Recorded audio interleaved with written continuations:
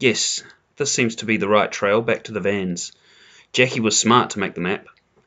You're feeling pretty smug as you walk through the forest, certain you're headed for the vans, home and safety, away from Danger Mountain. Suddenly, without warning, you see Leslie's hand go up as a signal to stop. Jackie stops next. Leslie groans. Oh no. You and Jackie see. Two, it's Mr. Marks. He's lying across the trail in what appears to be the most uncomfortable position, eyes fixed towards the sky.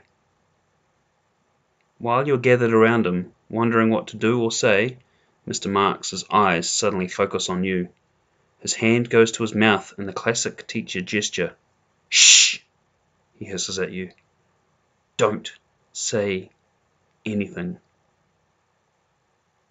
If you think he's saying that just because he's a teacher, and that's what teachers always say, choose option A. If you think he knows what he's hissing about, choose option B.